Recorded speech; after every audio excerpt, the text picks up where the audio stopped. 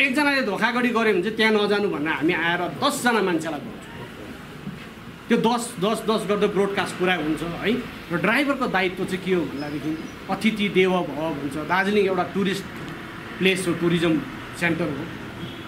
विभिन्न जग्गाबाट संसारको कुना कुना हरेक कुनाबाट माने पर्यटकहरू यहाँ टुरिस्टहरू आउनुहुन्छ है? र उहाँहरूलाई मिसगाइड नगरौँ। विशेष कुरो चाहिँ भाषा राम्रो सुधारौँ। अहिले प्राय म हालैमा मात्रै चार पाँचवटा मिटिङ बसिसकेँ प्रशासनहरूसँग मेन कुरा चाहिँ के छ भन्दादेखि मातेर चलाइदिन्छ ड्रग्स खानेहरू छ बेसी। हेर्नुहोस् आफ्नो पैसाले खानुहुन्छ। गाडी चलाएर कमाइ उहिलेको जस्तो छैन। हरेक कुरामा पहिलाको जस्तो छैन। त्यो सबैले विदिँदै सबैलाई विदिँदै भएको तर तीमध्ये पनि खाएर कति पैसा हामी उडाउँछौँ। त्यो उडाएको पैसाको गन्ती छैन। हामी त गरिब त्यो त धनी त्यसको त गाडी छ म त ड्राइभर। बाना देखाउँछौँ हामी। र मात्दाखेरि चाहिँ हेर्नुहोस् तपाईँहरूको पैसाले खानुहुन्छ। मैले यहाँ आएर ठुलो ठुलो उसले त टिचरले जस्तो यहाँ लेक्चर दियो भनेर प्रवचन सुनाएको नभनिदिनुहोस्। समग्रमा हामी एउटै परिवार हौँ। है यो पहाडी भेग कस्तो भन्दादेखि यो तपाईँको तारा लगाएर आउने जुन चाहिँ अफसरहरू छन् नि म त उहाँहरूको मुखमा पनि भनेको छु। एसपिडिएमहरू जति पनि ठुलो ठुलो ओदामा हुनुहुन्छ उहाँहरू दुई वर्ष अढाई वर्ष हेर्नुहोस् आउनुहुन्छ सरकारी मुलाजिम उहाँहरू। आदेशअनुसार त्यो काम गर्नुहुन्छ जानुहुन्छ। तर दार्जिलिङ पाहाड त हाम्रो हो तपाईँ हाम्रो। यसलाई भोलिको दिनमा कसरी सुचारू रूपले चलाउनुपर्छ हामीलाई के असुविधा छ? यहाँ पहिरो आयो भने त्यो ठुलो ठुलो अफसरहरूलाई लाग्दैन हेर्नुहोस्। गरिब दुःखी मान्छे हामीलाई नै लाग्छ। र जहाँ जे हुँदा पनि पहिला चेप्टिने चाहिँ ड्राइभर हुन्छ। स्ट्राइक होस् ड्राइभरले भेट्छ खोल्नुहोस् ड्राइभरले भेट्छ। एउटाले बन्द गर्छ एउटाले खोल्छ। खोल भन्छ होइन? त्यति बेला ड्राइभरै चेप्टिरहेको हुन्छ। मधेसमा त हामी त बेसी मधेसी नै संलग्न छौँ र मधेसमा छोरीको बिहा गर्नु समेत ड्राइभरलाई पैसा माग्दै गरेको हुन्छ। र पूर्ववक्ताहरूले जुन चाहिँ किसिमले भन्नुभयो सर्वप्रथम चाहिँ तपाईँले आफ्नो दायित्व बुझ्नुहोस् र विशेष गरेर आफ्नो पेपर्सहरू जुन चाहिँ छ लाइसेन्स ठिक राख्नुहोस् ट्याक्सी नम्बर राख्नुहोस्। र एउटा ठुलो कुरो चाहिँ म ट्रकको एउटा जेनरल सेक्रेटरीको हैसियतले होइन योभन्दा अगाडि पनि मैले कतिवटा इन्सुरेन्सको कामहरू गर्थेँ म एलआइसीको पनि एजेन्ट हो है। त्यो हैसियतले चाहिँ मलाई अनुभवको आधारमा चाहिँ के भन्नु चाहन्छु भन्दादेखि जुन चाहिँ गाडीको इन्सुरेन्स फेल छ त्यो गाडी त्यहीँ थन्काइदिनुहोस्। मेरो बिन्ती तपाईँलाई विनम्र बिन्ती। इन्सुरेन्स फेल भएको गाडी नचलाउनुहोस्। किन भन्दादेखि घटना दुर्घटना भन्ने कुरो चाहिँ उहिले बाजे बो बोजू पुर्खाहरूले भन्नुहुन्थ्यो बाजा बजाएर आउँदैन भन्थे। कति बेला घट्छ केही यादै हुँदैन। हिजो मात्रै बिहान एउटा फुटेज देखाउँदै थियो। एउटा रेड लाइटमा बसिरहेको मान्छे त्यो लाइट वेट गरिरहेको थियो। कति बेला ग्रिन हुन्छ र जान्छु। पछिबाट एउटा कारले यस्तो धक्का दियो दुईजना दाजुभाइ बाइकमा बसेको मान्छे पचास मिटर उडेर गयो तिनीले स्पोट दियो। त्यो मान्छेले के सोचेको थियो होला? अहिले मर्छु भन्ने सोचेको हुँदैन र घटना दुर्घटना चाहिँ कति बेला भएर आउँछ? हेर्नुहोस् हामी त मरिसकेको हुन्छौँ। यस्तो कसैलाई नपरोस् तर हामी पछि परिवार हुन्छ। अघि साथीले भन्नुभएको जस्तो। विशेष हामीले गोर्खा एकता चालक सङ्गठन बेसी भएको छैन दुई महिना भयो। नयाँ सङ्गठन हो। यसलाई लिएर एउटा हामीले सङ्गठनिक सभा गरेको थियौँ है। र सङ्गठनिक सभा गर्नुको मूल उद्देश्य के हो भने सङ्गठनलाई कसरी स्ट्रङ गर्ने कसरी अगाडि बढाउने चालक दाजुभाइहरूलाई कसरी एकजुट पारेर एकतामा ल्याउने एक सूत्रमा बाँध्ने त्यो निम् त्यसको खातिर हामीले आज सङ्गठनको मिटिङ बोलाएको र हामी यसमा लागि परेको छौँ। किनभने चालक दाजुभाइहरूले धेरै सङ्ग माने धेरै समस्या भोग्दै आइरहेको छ। त्यसको निम्ति अहिलेसम्म बोलिदिने को छ दार्जिलिङमा? कुन चाहिँ सङ्गठन चालकको निम्ति बोलिदियो? को सङ्गठन कुन चाहिँ सङ्गठन अहिले चालकको निम्ति अगाडि बढेको छ? कोही छैन। अहिले वर्तमानमा हिमालयन छ त्योभन्दा अगाडि दुई तिनवटा थियो चार पाँचवटा त हामीले देखिसकेको। कुनै सक्सेसफुल भएर गएको छैन। किन? युनिटी नभएर। चालकको नि युनिटी नभएर। त्यसको खातिर हामीले आज यो सङ्गठन सङ्गठनलाई हामीले सङ्गठनलाई खोल्नुको मूल उद्देश्य त्यही हो। चालक चालकलाई एक सूत्रमा बाँधेर चालकको निम्ति धेरै काम गरौँ। आजको दिनमा हेर्नुहोस् चालक चालक एउटा एकजना चालकको घरमा पाँचजना फ्यामिली हुन्छ छजना फ्यामिली हुन्छ सातजना फ्यामिली हुन्छ। त्यो चालकको डिपेन्डमा बसेको हुन्छ। आज त्यो चालक मऱ्यो भने त्यो फ्यामिली त लथालिङ्गै हुन्छ नि। न इन्सुरेन्स छ न उसकोमा bank balance enough bank balance छैन नि त? त्यसको निम्ति को बोलिदिएको छ यो सबको लागि हामीले आज चालक सङ्गठन खोलेको छौँ। गोर्खा एकता चालक सङ्गठन। यसमा सम्पूर्ण चालकको सपोर्ट हामीलाई चाहिन्छ। सम्पूर्ण स्ट्यान्ड र सेन्डिकेटको आवाज हामीलाई चाहिन्छ। किनभने भोलि आजको दिनमा उहाँ उहाँको आवाज नै भोलिको चालकको उज्यालो हो। किनभने सातजना फ्यामिलीमा चालक तलमाथि भयो भने सातजना फ्यामिली लथालिङ्गै। अहिले त कम्पिटिसन छ। आइसिएससी स्कुल हालेको हुन्छ। चालक मर्छ इन्कम गर्ने मान्छे को छ? त्यो नानीलाई प्राइमेरीमा हाल्नुपर्छ कि चाहिँ हाई स्कुलमा हाल्नुपर्छ? अनि इज्जतको पनि सवाल छ। त्यसको निम्ति बोलिदिने को छ। त्यसको त्यसको निम्ति हामीले एउटा माने मेडिकल फेसिलिटिज गरेको छौँ चालकको इन्सुरेन्स गरेको छौँ डेट इन्सुरेन्सको लागि हामीले काम कुरा गर्दैछौँ होइन?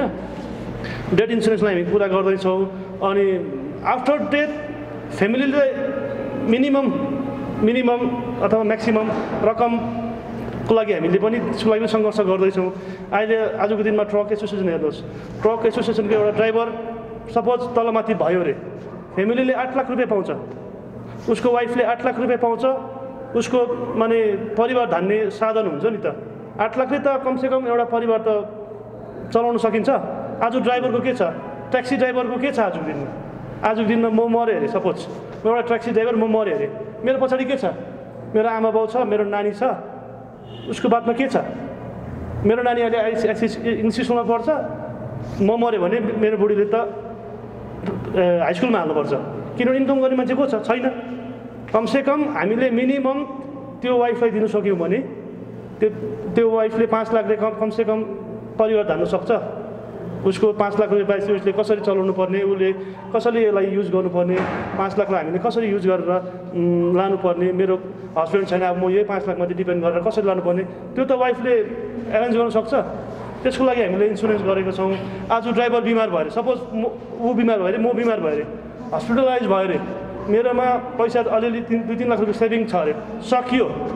भोलिको दिनमा मेरो वाइफ तपाईँहरूकै अगाडि आएर बोल्छ मेरो ड्राइभ मेरो हस्बेन्ड यहाँबाट गाडी खेप्थ्यो। आज हस्पिटलाइज छ उसको ट्रिटमेन्ट गर्ने खर्च छैन। प्लिज तपाईँहरू हेल्प गरिदिनुहोस् डोनेसन उठाइदिनुहोस्। तपाईँकै अ- अगाडि आएर बोल्छ। आइ पनि रहेको छ।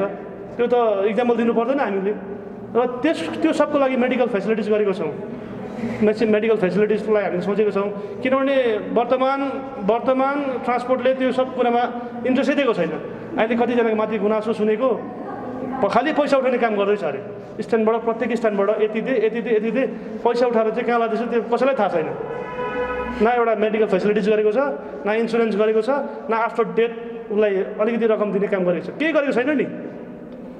त्यो सबलाई मध्यनजर गरेर हामीले होइन हामी एउटा सङ्गठन खोल्नुपर्छ किन चालकहरूको एकदम असुरक्षित भयो एकदम सेफ्टी छैन दार्जि दार्जिलिङमा ड्राइभरहरूको भन्नुको खातिर हामीले आज चालक सङ्गठन खोलेको।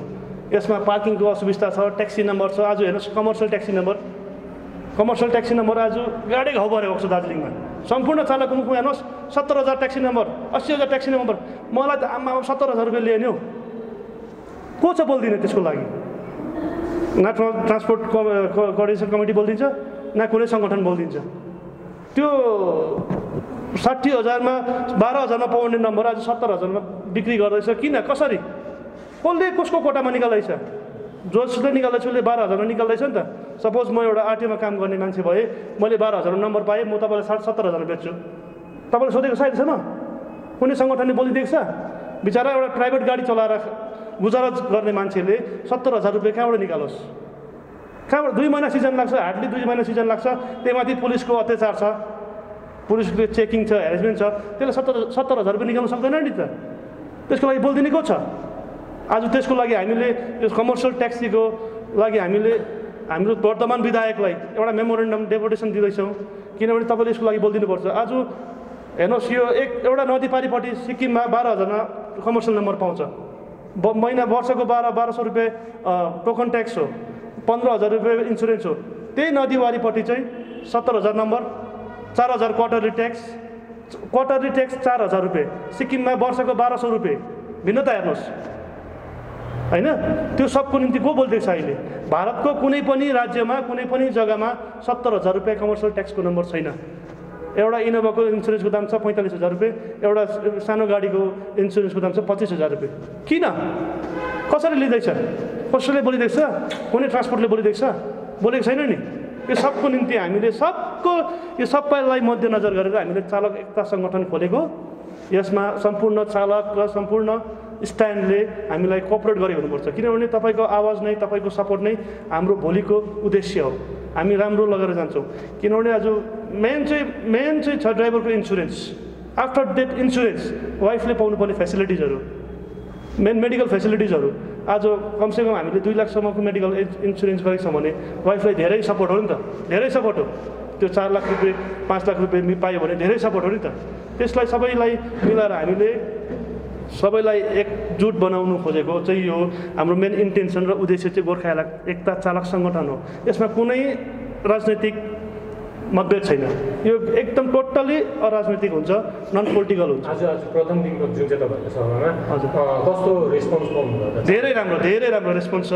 मैले हामीले जुन सोचेको थियौँ आज फर्स्ट हो हुन त यो नयाँ सङ्गठन हो। दुई महिना मोटामोटी भयो यसमा हामीले मिटिङहरू रिभ्यू मिटिङ गर्दै गर्दै जाँदा हामीले अठोट लियौँ कि एउटा होइन? जिडिएनएसमा राम्रै कुनै एउटा हलमा राम्रो मिटिङ गरौँ मैले मैले सम्झेको थिएँ बिस पच्चिसजना आइदिन्छ होला। इन्टायर दार्जिलिङलाई दार्जिलिङको सेन्डिकेट सेन्डिकेटदेखि बाहिरको चालकलाई हामीले तपाईँहरूको च्यानल मार्फत पनि खबर गरेको थियौँ। इभन पत्रचार पनि गरेको थियौँ र सोचेको थियो अब बिस तिसजना आउँछ होला किन बिस तिसजना आउँछ होला किनभने मान्छे अब मिटिङ मिटिङ भन्दा फेटा भइसक्यो। सोचेको थियौँ र आज त्योभन्दा धेरै राम्रो। अब हलमा बस्ने कुर्सी नपुगेर बाहिरबाट लानु पऱ्यो धेरै राम्रो राम्रो रेस्पोन्स हाम्रो। आगामी दिनमा तपाईँहरूले कुनै पनि अन्य पार्टीहरू राजनैतिक दलहरूको भातृ सङ्गठनको रूपमा कार्य गर्ने कुनै सोचहरू? एकदम त्यो हामी अहिले अहिले चाहिँ वर्तमानमा हामीले त्यस्तो केही सोचेको छैनौँ। सोच्दैनौँ पनि। किनभने पोलिटिकल्ली ल्यायो भने प्रेसराइज हुन्छ। अटोमेटिकली यो सङ्गठनलाई प्रेसराइज हुन्छ। कि मेरो पोलिटि मेरो मेरो पार्टीको लागि तैँले भोट मागिदियो भने प्रेसराइज हुन्छ। हुँदैन। अहिलेसम्म भइरहेको छ नि त। तपाईँले सङ्गठनलाई बोलाउँछ अलिकति पैसा दिन्छ मेरो प- मेरो इलेक्सनमा मेरो भोट मेरो पार्टी पार्टीबाट भोट हाल्ने भोट हाल्दे भन्ने एउटा प्रेसराइज हुन्छ। त्यो सबलाई हामी एकदम बाहिर राखेको छौँ। एकदम नन पोलिटिकल्ली हामी कुनै पार्टीकोबाट पैसा लिएर खानु पनि छैन। हामी भोट मागिदिने हाम्रो यो माध्यम पनि होइन। Only for drivers only for चालक। चालकलाई लिएर हामीले काम गर्दैछौँ। आज मुख्य रूपमा को को उपस्थित हुनुहुन्छ? आजको मुख्य अतिथि हाम्रो हुन्थ्यो दार्जिलिङ ट्रक ड्राइभर एसोसिएसनको जेनरल सेक्रेटरी मिस्टर श्रीमान राजु छेत्रीज्यू। विशिष्ट अतिथि हुनुहुन्थ्यो अ, फासन शेर्पाज्यू। उहाँ वर्तमान अहिले हिमालयन कोर्पोरेसन कमिटीको के हुनु भाइस प्रेसिडेन्टमा के हुनुहुन्छ? उहाँ हुनुहुन्थ्यो अनि अप्पर ओल्ड क्लब साइडको प्रेसिडेन्ट हुनुहुन्थ्यो अनि दार्जिलिङको धेरैबाट धेरै सिन्डिकेटबाट प्रेसिडेन्ट सेक्रेटरी आइदिनु भएको थियो। मुख्य अतिथिको रूपमा हाम्रो ट्रक ड्राइभर युनियनको जेनरल सेक्रेटरी हुनुहुन्थ्यो। तपाईँको परिचय भन्नुहुन्छ म सागर राई है गोर्खा चालक एकता सङ्गठनको अहिले वर्तमान अध्यक्ष।